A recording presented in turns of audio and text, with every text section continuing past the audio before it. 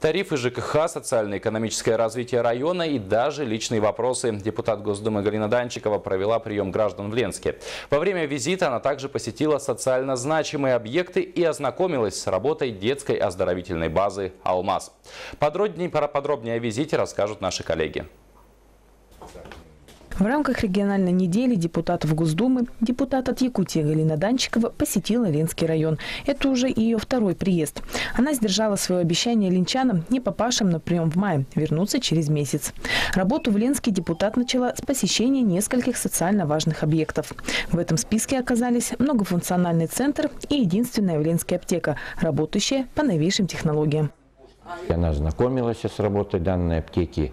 Конечно, ее была очень удивлена Галина Иннокентьевна. А, так, таких аптек и с таким с применением новейших таких технологий, значит, а, от отпуска лекарств для клиентов, значит, нигде в республике нет. Это только в Ленском районе. Но мы этим тоже, конечно, гордимся, да, что у нас вот такие предприимчивые предприниматели. После посещения этих учреждений депутат провела прием по личным вопросам. Галину Данчикову ждали те, кто в прошлый раз не попал на прием, а также новые заявители. Вопросы были как личного характера, так и волнующие всех. Начиная с тарифов на ЖКХ, заканчивая глобальными вопросами социально-экономического развития Ленского района. Законы Дума принимает – значит, потом смотрит, как эти законы, значит, реализуются, значит, в жизнь входят. Если что-то там, ну, не вот, не, где-то было неправильно, значит, ну, должны их поправлять. А чтобы поправлять, это надо вот устраивать вот такие встречи с населением. Второй день работы правительственная делегация начала с посещения детской оздоровительной базы «Алмаз».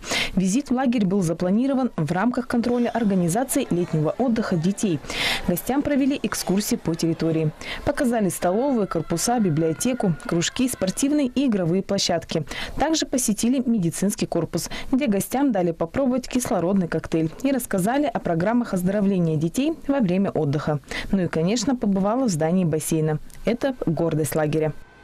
В рамках моей региональной недели одно из приятных моих поездок, приятных событий, это приезд вот э, в лагерь, который сегодня называется красивым таким названием а, «Алмаз». И э, сегодня здесь отдыхают ребятишки с разных регионов.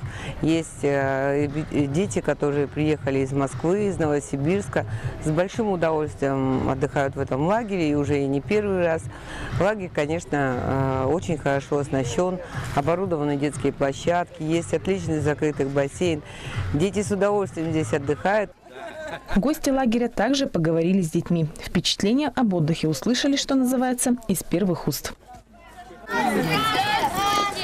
Это нравится в лагере? Марина Крутихина, Руслан Кириллов, Сергей Счастный, телеканал «Алмазный край».